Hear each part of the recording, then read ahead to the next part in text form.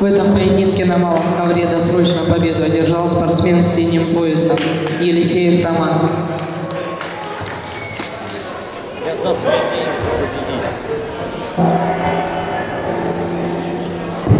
В этом поединке победу досрочно одержала спортсменка с красным поясом Волок Екатерина. Она занимает третье место.